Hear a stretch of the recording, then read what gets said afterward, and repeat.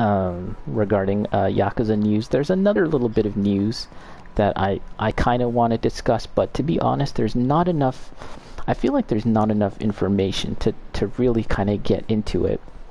But I figure it's worth just talking a little bit for now. Uh, and it'll be a, a, shorter video because, like I said, there's just not too much information about it. But let me bring up the article. Uh. Let's see. Okay, so this is from earlier in the year. I think it was uh, in May of, of this year, and it comes from yeah. Uh, this this the article that I'm taking it from, and again, I'll just make a video. Uh, sorry, I'll I'll put it in the information uh, below the link. Uh, this one comes from PCInvasion.com, Kurt Perry, and again, it's from May. Sega wants to create a super game in the next five years, and it looks to be a huge project. So, so um, uh, around that time, Sega released their financial report for 2020. Again, this comes from 2021, but they were putting out their financial report for the previous year. Mm-hmm. And in the financial report, they obviously discuss, uh, you know, how much money they've been making, blah blah blah. Mm-hmm. The games that have been making a lot of money, but also the future future plans for Sega. And one of them, and there's even a diagram here. It's called Creation of Super Game. and it's a multi-stage process which will culminate in 2026, which is what they project to be the release of Super Game. Creation of Super Game.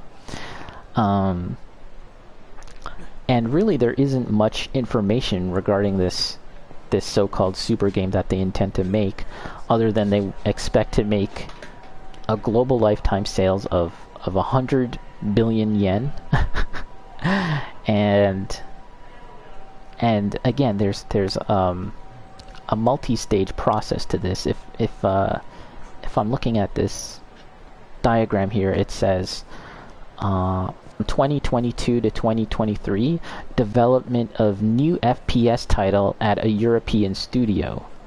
And then the next point is utilization of IP assets. And then create create aimed for 3 to 5 years from now. Creation aimed from 3 to 5 years from now. So uh, yeah, we don't really know any more than that. Um, it it it to me it doesn't necessarily suggest that it's going to be a FPS. Only that a part of this process for the super game involves the creation of a FPS title from from a European studio. Now Sega does own a couple of uh, European developer development studios. Um, the people that make Total War, I believe Sega own. Um, but to my knowledge, they don't make first-person shooters. And also Relic. Uh, and Relic have made other games other than strategy games, so they could be uh, one of the studios that they're thinking of. I'm actually not sure if Relic is, is European, but um, I was just thinking about this because, uh, yeah, it, it has been quite a while since we heard about this alleged super game. Um, and I don't really expect that we hear anything about it for a very long time. But I was thinking about it recently in relation to uh, the news of Nagoshi leaving, because it kind of made me think, well, what happens to this alleged super game now, um, if if indeed Nagoshi is leaving? Because um, one would suspect that Nagoshi would be involved in in in said super game. Uh, again, this is just speculation, just because he's kind of like the kind of like the the most prominent developer at Sega at the moment who's making mm, really appealing mass market games. And again, that's kind of what the intent of the super game is is supposed to be, like some kind of big mass market game. Uh, but now that he's leaving, uh, allegedly, uh, where does that leave this this uh, supposed super game? I don't know. again, it's it's really just speculation. So uh, that's why um, this is just kind of going to be a short little commentary on it because there really isn't much to go on. And if I could, if I could uh, further speculate, because uh, that's uh, it's fun to do, and um, um, you know, we don't really have any actual real information. um, there was a in around the time of of uh, of uh, Ghost of Tsushima, Nagoshi was actually very uh, uh, very positive about that game. Um, he he apparently liked it a whole lot, and he said in a quote, uh, and I'm paraphrasing here because I don't have the actual quote on me. He said like, "I lost, we lost," you know, uh, regarding like like it should have been like a Japanese company, a Japanese studio developer to to have made a game like that, Ghost of Tsushima. So he felt like it was it was his loss that that he didn't make one, which is ironic because he has made a game, a samurai game, right? Um, the Yakuza Kenzan games, or if you want to call it uh, like RGG Ryu ga Gotoku uh, Kenzan, Kenzan and the other one, I forget the name of the other one, but they're two samurai games that appeared on the PS3 and 4. Um, but uh, he really enjoyed that game, and he actually said the thing that he liked about it was like uh, something along the lines of, and I'm paraphrasing here, that the that the the the main uh, protagonist of the game wasn't like a typically handsome uh, Japanese character in the in the sense of a more uh, a more pretty, a more beautiful man, I guess.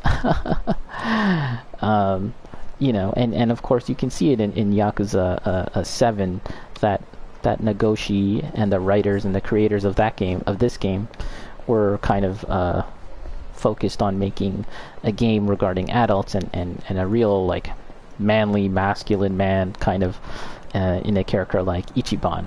You know a guy who's buff and you know a little rough around the edges but certainly not would never be um, confused with like a being like a pretty a pretty man right? And he said something to that effect about about the main character in Ghost of Tsushima as well that you know he he's like a, a he's a man's man kind of guy.